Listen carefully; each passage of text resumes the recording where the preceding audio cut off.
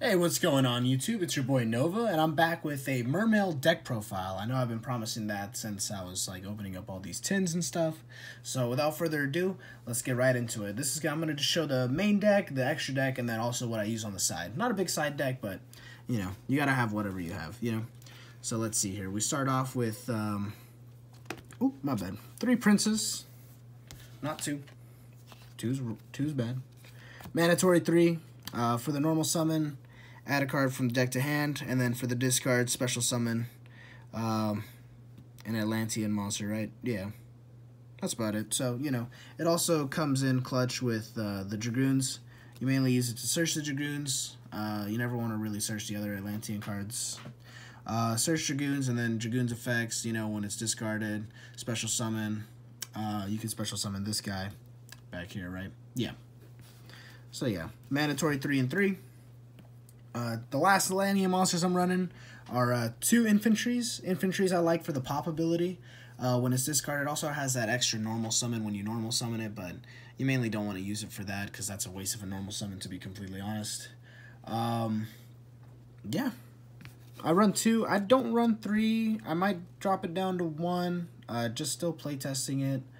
Um, getting a lot of like advice from a bunch of friends and stuff at my locals that have played the deck and really know what they're talking about instead of me just going blabbling around of what I'm what I'm trying to play test. Uh, I don't run the Spearman.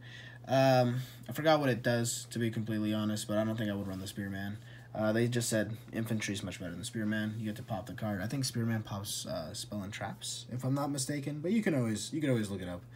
Then I got the Mermail stuff. We got the three Megalos, the three Tias, two Pikes, two Gundys, and then one Mander. Uh, Megalo, straightforward. Discard two, special summon it. It can attack twice if you uh, pop another water monster on your field. Cool, cool. And then uh, Tias, discard one, special summon it, and then um, what else does it do? I forgot. uh, yeah, it uh, adds also a level four Mermail monster, so you can search these guys from your deck to hand. Uh, maybe not Mander. Mander you would rather draw into it uh, later game, not like you know first turn. Uh, Pike, Pike for the normal summon. Uh, you can discard, ditch it, and then you can add a level 3 uh, water monster from deck to hand. So you ditch, uh, say you ditch uh, Mander or whatever, you could special, you could search uh, Gundy, and then say you have like a Tias in your hand, or, or if you want to link away and stuff like that. You know, they all revolve themselves. Uh, Gundy special summons any mermail monster from your grave back to the field. Uh, uh, excuse me, uh, Pike is the searcher, and then Mander, Mander's just there for like increasing levels, so you can go into rank 8s and rank 9s into this deck. Um, I wanted to run, uh, what's it called, uh, what's that card's name, Heart-eartH Dragon, number 92, I think. Yeah, just for that, uh, banish every card your opponent set, or uh, basically played normal summon, set, or face up or something like that, banish it, and then um, every battle damage you get it, they take it instead, and it has zero zero. So it's pretty pretty pretty janky. I remember I used to run it back in the Blue Eyes when I had uh, that old Blue Eyes deck uh, with um, what is it? Uh, the structure deck. I can't remember the name of that synchro monster, but it'll hit me one day. Let's see. I got the Ronintoadin, Dupe Frog, and then of course the three uh, Mr. Swaps. Uh, Ronintoadin for the special summon. Say you'd uh, Banish Dupe Frog, special summon Rodent. Swap Frog, just because, you know, for the special summon, discard a water monster, special summon it. And uh, then you can also ditch a monster to the uh, grave. So, yeah. And then also because it, it, pops a monster back into your hand. I like to pop back a swap or whatever I have on, on field, to be honest. It really depends. Then I also run the Genex, Genex build. And with the Genex combo, I do uh, the Rosenix. So, Undine, normal summon it, ditch a water monster from deck to graveyard. You mainly want to do uh, Rosenix. Uh, Rosenix effect, when it's in grave, uh, banish it, and then get a token out. You can use the token to link. That's pretty much that's pretty much all Rosenix is here for. Let's see. Also, we have uh, three Angler, Nimble Angler, uh, two Beaver, one Sunfish, Never want to see Sunfish in hand. God, I hate seeing that card in hand. But luckily I have something in the deck that, you know, lets me uh, shove it back into the deck. If you guys know what I'm talking about, then you guys know. Um, I'll show it in a little bit. Uh, but with the Angler, Angler you like to, uh, that could also combo off with uh, Genex. You could do Genex and Angler, and then you could special summon um, Beaver and Sunfish from deck. It says up to two. I like doing the two, so that's why I never want to see this card in hand. Uh, Beaver, when it's normal summon, just uh, special summon a level 3 or lower Nimble monster from Grave. But you mainly want to use uh, Angler. That's why I run 3. And then Sunfish, uh, he's just there. He's just there for the extra special summon. So the one-ofs, I got the uh, Mon uh, Monglacia.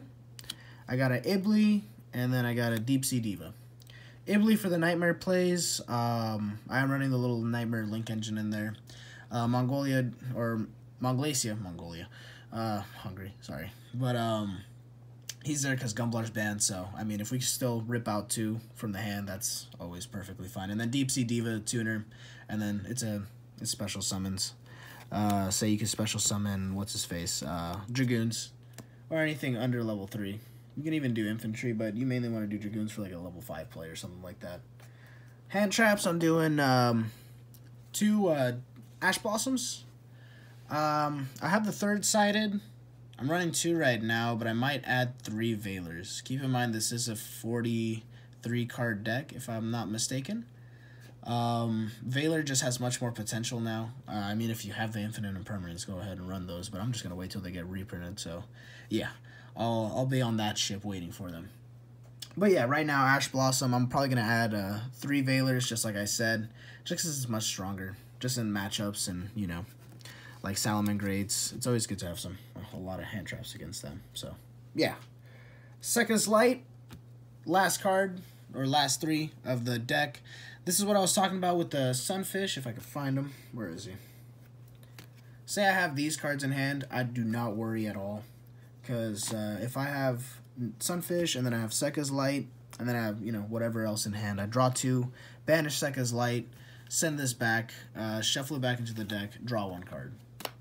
It's it's just here for the draw power, to be honest. So yeah, that's the, um, what's it called? That's the main deck. I'll move on to the extra, or the, not the extra deck, the side deck first, and then I'll show the extra deck. So, side deck, it's not that big. I mean, I got the, um, the extra Ash Blossom.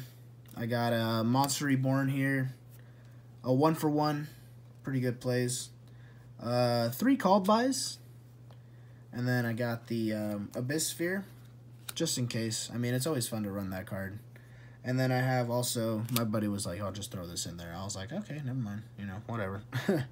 uh, but yeah, um, besides this, uh, the Sphere, pretty good for the special summoning. I mean, you can get a free special summon and then uh, Link Away or Xyz Away or whatever you want. Um, let's see, call buys, self-explanatory, honestly. Call buys, uh, they ash you or Veiler you or um, Droll and Lockbird you, you just call by them. And then they have no outs to it, so, you know, everyone should be running Call by the Graves. Uh, let's see here. The one for one, ditch something, and then uh, special summon the, the Prince. Pretty much what it's there for. Uh, Monster Reborn, self-explanatory.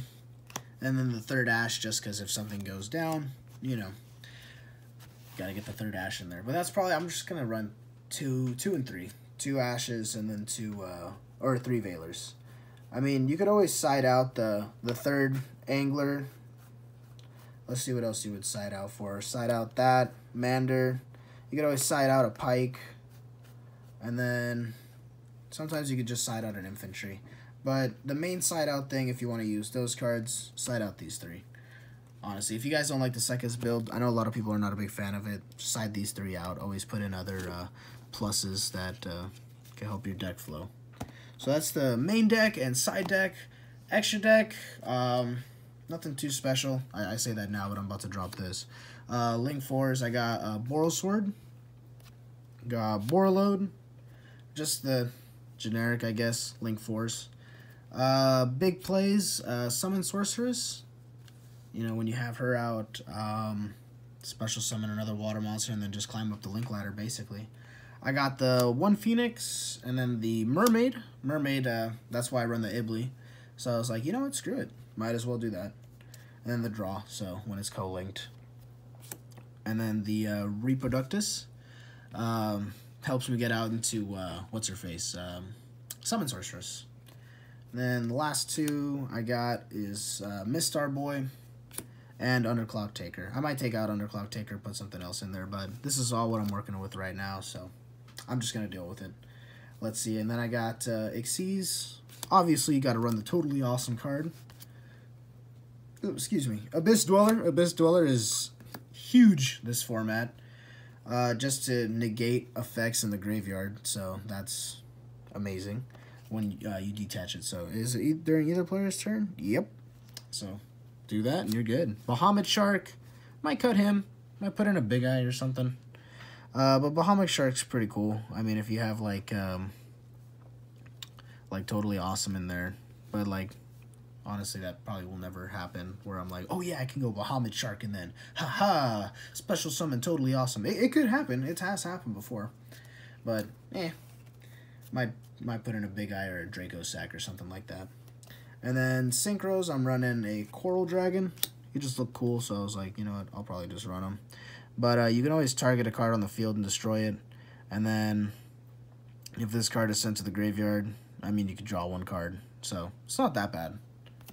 And then I got the Yazi. Everyone knows what Yazi does. If you don't, let me refresh you. So it has two effects. You can target a Yang Zing monster you control, and one card your opponent controls and destroy them. You could always target this, and then target something else and destroy it. Or when this card uh, you control is destroyed by battle or card effect and sent to the graveyard, you can special summon a wyrm-type monster from your deck and defense position. So you mainly want to just use the first effect if you want to get rid of something. So it's not that bad. And then last, I run the Trishula. Trishula just because, you know, she's Trish. And uh, to banish a card from hand, field, and graveyard is pretty damn big unless they're like, oh, that's cool. We're Salamangreat. Gray. We can get over anything. But yeah, that's uh, my deck profile. If you guys have any ideas of how to make the deck better, I would love to know. Just leave a comment down below and then let me know what else you guys want to see next. I just thought I'd share this because I'm still playtesting this deck. Um, this is a deck I kind of wanted to build for a while. And then, you know, my buddy was like, hey, I got this Mermail core. And I was like, no way. I'll pick it up from you. So that's pretty much what happened. So anyways, yeah. If you guys did enjoy the video, just leave a like or whatever. Uh, subscribe for more. Uh, bell notifications, I guess, is what they're doing nowadays. So yeah, I'll catch you guys in the next video. Peace.